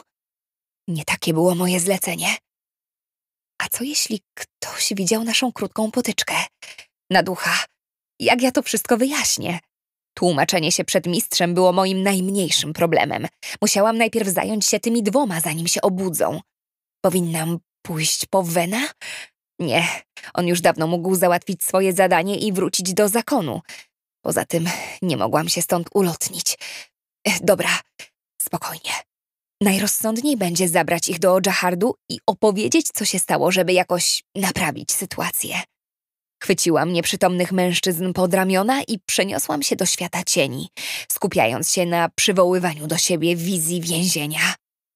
Obraz koła młyńskiego rozmył się, jakby niewidzialna dłoń wylała na kartkę atrament, który przysłonił rysunek. Moim ciałem szarpnęło do tyłu. Świat pogrążył się w ciemności, by za chwilę odzyskać rzeczywiste kształty. Przede mną wyrosła brama jednego z więzień, w których umieszczaliśmy porywanych ludzi. W Dżahardzie trwała teraz noc. Poza punktami światła na wieży strażniczej panowała absolutna ciemność. Ciała mężczyzn bezwładnie opadły na ziemię. Pomachałam do Jackala, strażnika kręcącego się przy bramie. A im co się stało? Obrzucił mężczyzn zdziwionym spojrzeniem, po czym przeniósł na mnie wzrok. No wiesz, czasem trzeba sięgnąć po cięższy oręż. Zaśmiałam się, ale Jackal chyba nie uwierzył w mój dobry humor. A tobie co się stało? Zapytał, wskazując na moją nogę. Dopiero teraz przypomniałam sobie o zranionym udzie. Do tej pory byłam tak zdenerwowana z powodu całej tej sytuacji, że nawet nie czułam bólu. Już szykowałam kolejną zgrabną wymówkę, żeby jakoś z tego wybrnąć, ale zamiast kolejnych pytań Jackal wyciągnął rękę. No co? Czekam na nakaz. Bez niego nikogo nie wsadzę. A, tak. Zaczęłam grzebać w kieszeni spodni, udając, że szukam nakazu, jednocześnie gorączkowo zastanawiając się, co teraz zrobić. Musiałam go zostawić w zakonie. Na razie ich zabierz, a ja wrócę z nakazem. Li, ze mną się nie licytuje. Albo masz ten nakaz, albo nie. No przecież ci mówię, że mam, ale nie tutaj. To co mam teraz z nimi zrobić? Może powinnam ich zostawić na środku ulicy? Jack pokręcił głową, wyraźnie rozzłoszczony. Przetarł twarz ręką i w końcu rzucił. Dobra, ale za piętnaście minut masz być tutaj z nakazem. Jak tylko przeniosłam się do domu, ruszyłam w stronę tylnego wejścia, którym wchodzili wszyscy szari. Klientów wprowadzano głównymi drzwiami, aby zrobić na nich wrażenie. Na widok wielkich pozłacanych drzwi ze zdobieniami w kształcie wijących się roślin, człowiek czuł się lekko przytłoczony. Dalej przechodził mrocznym korytarzem ozdobionym maskami i obrazami, z których złowrogo łypały na niego postacie z legend. Nagle usłyszałam odgłos otwieranych drzwi. Mężczyzna, który wyszedł z zakonu, zamknął je niedbale, po czym wsadził ręce do kieszeni. Rozejrzał się po ogrodzie, a kiedy mnie zauważył, wyraźnie się spiął. Wyprostował się pod naporem mojego spojrzenia, ale nie ruszył się z miejsca. Zmrużyłam oczy, chcąc dojrzeć obcego w słabym świetle lampy zawieszonej nad wejściem. Jedyne, co odznaczało się na tle nocy, to kształt jego sylwetki i oczy, które wręcz błyszczały, odbijając blask wymykający się z lampy. Kiedy podeszłam bliżej, zauważyłam, że ma na sobie czarny garnitur. Musiał być kimś ważnym, kimś, komu zależało na anonimowości. Wiele wysoko postawionych osób działało w ten sposób, nie chcąc nabruździć sobie w kartotece. Niewielu mieszkańców pałacu bywało w zakonie cienia, ale zdarzały się takie przypadki. Przecież nawet królowie potrzebują czasem pozbyć się swoich wrogów w mało wyrafinowany sposób. Zwykle nie chcieli robić tego własnoręcznie, zwracali się więc z tym do nas. Nagle spadło na mnie objawienie. Młody mężczyzna o ciemnych włosach i oczach w kolorze gwiazd, noszący głowę tak wysoko, że korona zdawała się atrybutem przypisanym mu od urodzenia. To musiał być jeden z książąt. Widziałam ich już kilka razy, jak wygłaszali publicznie przemówienia. W gazetach nieraz opisywano ich wyjątkową urodę. Z duchem, powiedział mężczyzna, nie wyjmując rąk z kieszeni. Ciekawe, że użył pozdrowienia wymienianego głównie między szari. Co prawda, witałam się tak z każdym starszym ode mnie, by okazać w ten sposób szacunek. Wynikało to jednak z mojego przyzwyczajenia. Formułka dawno wyszła z użycia, ponieważ z każdym rokiem wyznawców ducha ubywało. Niewielu już pamiętało o Bogu cieni. Z duchem. Odparłam, mijając się z mężczyzną w wejściu. Zamknęłam drzwi na wszystkie spusty i udałam się w stronę gabinetu mistrza zakonu. Choć wszyscy o tej godzinie już spali lub bawili się gdzieś w mieście, mój przełożony zajmował się dokumentacją w swoim biurze. Kiedyś skarżył się, że cierpi na bezsenność i w nocy nadrabia to, czego nie zdąży zrobić za dnia. Miałam wrażenie, że całe noce nie opuszczał gabinetu. Być może nawet w nim sypiał. Wciąż nie wiedziałam, co powiem, gdy spojrzę mu w oczy. Jak przyznać się do tak poważnego błędu? Zastanawiałam się też, jak teraz odkręcimy tę sytuację. Powinniśmy zabić tych mężczyzn, czy uwięzić raz na zawsze? A może wypuścić na wolność? Jak wyjaśnimy, że porwałam ich zamiast zdobyć potrzebne informacje? To nie byli zwyczajni ludzie, tylko przedsiębiorcy z wielkich firm zajmujący się produkcją broni na światową skalę. Tacy jak oni nie mogą od tak zniknąć bez zwrócenia niczyjej uwagi. Kiedy podeszłam pod gabinet, pokój mistrza zastałam otwarty, a ze środka wydobywał się promień światła rozświetlający mrok w korytarzu. Zapukałam do uchylonych drzwi, wyciągając zwiniętą kartkę z kieszeni. Mistrz gestem ręki zaprosił mnie do środka. Wielki ptak siedzący na biurku zaskrzeczał, gdy weszłam do gabinetu. Mistrz pogładził go po głowie, spoglądając na mnie z ukosa i wyciągnął drugą rękę po dokument. Co to jest? spytał. Obrócił kartkę i obejrzał z dwóch stron ze zmarszczonymi brwiami. Czułam, jak pocą mi się założone za plecami dłonie. Wzięłam głęboki wdech, zanim zaczęłam swoje marne tłumaczenia. Wyrzucałam z siebie słowa jak z karabinu, nie zatrzymując się, dopóki nie opowiedziałam całej historii. Widziałam, jak twarz mistrza przybiera czerwony kolor. Potarł czoło dłonią i westchnął. Przez chwilę milczał, a ja zastanawiałam się, co mogłabym dodać, żeby go jakoś uspokoić. Może dobrym pomysłem byłoby błaganie o wybaczenie. Zatem odezwał się w końcu, prostując się w fotelu. W tym momencie w naszym więzieniu znajduje się dwóch mężczyzn, którzy nie powinni tam byli trafić. Zmierzwił ręką gęste czarne loki i kontynuował. Pobiłaś ich i porwałaś. Zastanawiałaś się, jakie wynikną z tego problemy? Nawet nie wspomnę o kosztach, które już ponieśliśmy, ale najważniejsze jest, jak my to wytłumaczymy. Masz może jakiś pomysł? Był spokojny, lecz ton jego głosu mroził mi krew w żyłach. Chyba wolałabym, żeby krzyczał, niż przemawiał w taki sposób. Dyskretnie wytarłam spocone dłonie w materiał spodni. Nie. Nie mam pojęcia. Wydukałam, besztając się w duchu z powodu mojego tchórzostwa. Odchrząknęłam, zanim znów się odezwałam. Myślę, że powinniśmy ich uwięzić, a zleceniodawczyni przekazać fałszywe informacje. Czyli co chcesz jej powiedzieć? Powiesz, że nie spodobało ci się, co usłyszałaś, więc porwałaś ich i uwięziłaś? Wspaniale. Od razu pozbyłaś się jej konkurencji, za co przecież nie zapłaciła. Nie wiedziałam, co na to odpowiedzieć. Miał rację, ale to nie zmieniało faktu, że trzeba jak najszybciej coś z tym zrobić, zanim ludzie się zorientują, że zginęli istotni dla firm pracownicy. Powiem ci, co zrobimy.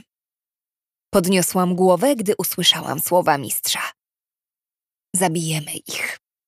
Ale zrobimy to w taki sposób, żeby wyglądało na wypadek. Zleceniodawczyni dowie się, że zginęli, zanim wykonała się zlecenie. Odzyskamy chociaż pieniądze. Oni mówili o nowym rodzaju broni. Odezwałam się cicho. Chcieli stworzyć broń, która będzie mogła przecinać cień. Mieli nawet plany i projekty. Mistrz nieznacznie skinął głową na znak, żebym mówiła dalej. Widziałam je, ale nic z tego nie rozumiałam, bo specjalnie nie podawali szczegółowych nazw ani liczb. Chyba spodziewali się, że ktoś będzie próbował podejrzeć te plany. Może lepiej będzie ich zostawić przy życiu, przesłuchać. Kiedy miała powstać ta broń? Za rok, może dwa lata. Zapadło milczenie. To zmienia postać rzeczy, powiedział po chwili mistrz. Zaczął stukać palcami w blat biurka. Masz rację. W tej sytuacji najlepsze, co możemy zrobić, to wykorzystać ich wiedzę, żeby spróbować powstrzymać rozwój wypadków. Inna sprawa, że ta broń powstanie i bez ich udziału. Ponadto, gdy pracownicy dowiedzą się o śmierci szefa, od razu nas będą podejrzewać i zechcą stworzyć broń. Jak najszybciej. Po tych słowach znów zapadła cisza, a ja nie wiedziałam, gdzie podziać oczy. Czułam, że nawaliłam, ale teraz miałam wrażenie, że może ta sytuacja wyjdzie nam na dobre. Jeśli pozbędziemy się głównych pomysłodawców tego strasznego wynalazku, będziemy uratowani albo chociaż odroczymy powstanie broni. Chciałam w to wierzyć, chociaż mistrz też mógł mieć rację i być może swoim działaniem przyspieszyłam tylko to, co nieuniknione. Zrobimy tak. Lee, dostaniesz nakaz i zaniesiesz go Jackalowi. Im mniej osób wie o tym, co się stało, tym lepiej. Tymczasem zaaranżujemy dwa wypadki. Pierwszy jeszcze dzisiaj, a drugi jutro. Podłożymy podobne ciała i podpalimy. Rzekome projekty też podrzucimy, niech to wygląda jak nieszczęśliwy splot wydarzeń. Powiedzmy, że będzie chodziło o wadliwy piec albo przypadkiem płaszcz. Znajdzie się zbyt blisko ognia. Pokiwałam głową, chociaż w tym momencie nie byłam już pewna, jakie byłoby najlepsze rozwiązanie w tej sytuacji. Ludzie i tak powiążą nas z tym, wypadkiem. Mogliśmy być tego pewni. Li, nie chcę dawać ci reprymendy, ale wiesz, że zawaliłaś. Takie zlecenia jak to wykonywałaś już nieraz, nawet mając 12 lat. Co się stało tym razem? Przepraszam, ale nie wiem. Chyba po prostu byłam w szoku po tym, co usłyszałam. Zdenerwowałam się i przestałam panować nad mocą. Ja po prostu. Nie wiem, jak do tego doszło. Mistrz pokiwał głową, nie przestając stukać nerwowo w blat. Czy możemy przez chwilę porozmawiać o twojej wizji? Zapytał nagle. Harpia zaczęła spacerować po biurku. Była odrobinę przerażająca. Nie sądzisz? No cóż, miałam wrażenie, że wszystkich zaniepokoiła. Na pewno wolałabym dostać pozytywną przepowiednię. To oczywiste. Pogłaskał ptaka po głowie, gdy ten usiadł mu na kolanach. Musisz wiedzieć dwie rzeczy. Po pierwsze, tak między nami, te wizje nie zawsze się sprawdzają. A nawet powiedziałbym, że tylko połowa z nich się spełnia. Po drugie, pamiętaj, że zawsze możesz przyjść do mnie po pomoc. Zresztą nie tylko do mnie, ale i do całego zakonu. Gdyby coś się stało, natychmiast mnie informuj.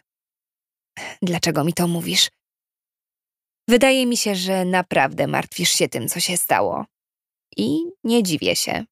Po prostu chcę, żebyś wiedziała, że nie jesteś sama i tutaj nic ci nie grozi. Ja nie. No, może faktycznie się przestraszyłam, ale wszystko już w porządku. Sądzę, że powinienem dać ci kilka dni przerwy. Odpoczniesz, rozerwiesz się trochę, wrócisz w lepszej formie. Coś wewnątrz mnie od razu zaprotestowało. Mistrzu, nic takiego się nie dzieje, to była jednorazowa sytuacja, obiecuję. Nie jestem co do tego przekonany. Odparł, po czym wyjął z szuflady biurka dużą czarną kopertę. Zanieś to proszę Dawinie. To moje ostatnie słowo. Znowu to zrobił. Znowu odsuwał mnie od pracy. Nie chciał mi powierzyć trudniejszych zadań. Takie proste zlecenie, a ja nawaliłam. Nic więc dziwnego, że nie był w stanie mi zaufać. Jak długo będę musiała udowadniać swoją wartość? Sięgnęłam po kopertę i zważyłam w dłoni. Co to jest? Nowe zlecenie? Tak. Dla Dawiny. Powiedział, wyraźnie akcentując ostatnie słowo. Czy Dawina nigdy się nie pomyliła? Nigdy nie popełniła błędu? Bąknęłam w odpowiedzi, ściskając kopertę. To nie ma w tym momencie żadnego znaczenia. Wiesz, że ze wszystkim dam sobie radę. Nie chcę żadnych dni przerwy, proszę. Mogę wziąć nowe zlecenie. Chyba wyraziłam się jasno. Przecież każdy czasem popełnia błędy. Podniosłam głos, czując wzbierającą we mnie złość. Dlaczego traktujesz mnie jak dziecko, z którym trzeba się obchodzić jak z jajkiem? Nie mam już dziewięciu lat. Robię to, co uważam za słuszne. A teraz możesz już wyjść. Nie będę więcej z tobą dyskutował na ten temat. O następnym zleceniu poinformuję cię, kiedy uznam, że wystarczająco odpoczęłaś. Wyszłam trzaskając drzwiami. Nagle zauważyłam, że coś wypadło z koperty. Najwidoczniej nie była dobrze zaklejona. Podniosłam kartkę, na której widniał rysunek. Portret młodego mężczyzny z czarnymi włosami, zadartym nosem i wąskimi ustami, które wyginały się w grymasie. Prawie krzyknęłam, gdy rozpoznałam tę twarz. Przecież to ten sam, którego widziałam kilka minut temu, gdy wchodziłam do zakonu. O co tutaj chodzi? Skoro w kopercie miały znajdować się informacje na temat zlecenia Dawiny, to znaczy, że portret ma służyć do identyfikacji ofiary. Ale jaki to ma sens, skoro ten człowiek przyszedł tutaj? Zapewne po to, by wynająć Szari. Chyba, że to był jeden z sariwiańskich książąt. Tylko wtedy miałoby to sens. Książęta byli bliźniakami. Wyglądali niemal jak kopie ojca, a gdy te kilka razy widziałam ich podczas publicznych wystąpień, nie byłam w stanie odróżnić, który jest który. Na portrecie mógł być zarówno Kain, jak i Niven. Pokonałam schody w trzech skokach, usiadłam na łóżku i z drżącymi palcami wyjęłam wszystkie kartki. Dawina się nie pogniewa, jeśli dostanie je trochę później. Zaczęłam czytać dokumenty i z każdym zdaniem moje oczy otwierały się coraz szerzej. Książę Kain zlecił zabójstwo brata, a mistrz się na to zgodził. Nie mogłam w to uwierzyć. Zawsze powtarzał, że dla nas umowa z cesarzem to świętość i nigdy nie wolno złamać jej postanowień. Umowa została sporządzona wiele lat temu, tuż po tym jak pewien władca i tyran, Amadeus, wykorzystał Szari do podporządkowania sobie poddanych. Masowe zabójstwa i publiczne egzekucje sprawiły, że ludzie nas znienawidzili. Po obaleniu cesarza zawarto pakt z cieniotkaczami. Zakładał, że o każdym zleceniu musi wiedzieć cesarz i że zabronione były wszelkie działania przeciwko rodzinie władcy. Dlaczego mistrz zgodził się przyjąć zlecenie księcia Kaina? Musiał być jakiś powód. Nie chciało mi się wierzyć, że mógłby lekkomyślnie narazić zakon cienia na niebezpieczeństwo. Musiałam mu zaufać, że to dobra decyzja. Chyba nigdy nie dostaliśmy zlecenia z pałacu, ponieważ było to nielegalne. Jak silna musiała być nienawiść jednego brata do drugiego, skoro zdecydował się na taki krok. Mogłam się tylko domyślać, że pragnienie władzy stanowiło wystarczającą motywację, by sprzeciwić się koronie i własnej rodzinie. Pomyślałam o swojej siostrze. Gdzie była teraz? Czy pamiętała cokolwiek z naszych wspólnych chwil? Myślałam o niej rzadko, ale te wspomnienia zawsze wywoływały u mnie łzy. Gdyby zobaczyła, kim się stałam, na pewno nie chciałaby mieć ze mną nic wspólnego. Być może znienawidziłaby mnie jak Kain Nivena. Jeśli wierzyć plotkom, w przypadku książąt powód mógł być jeszcze jeden. Wiele lat temu zmarła księżniczka Miriana, ich starsza siostra. O tym zdarzeniu mówili wszyscy w stolicy. Miałam zaledwie osiem lat, kiedy to się stało. W gazetach rozpisywano się o tragedii w pałacu cesarza, o tym, że księżniczka zapadła na smoczą gorączkę. Taka była oficjalna wersja, ale wszędzie szeptano o tym, że tak naprawdę pałac próbował zatuszować morderstwo. Z jakiegoś powodu od tamtej pory książę Niven rzadko pojawiał się publicznie, bo spotykał się z podejrzliwością obywateli.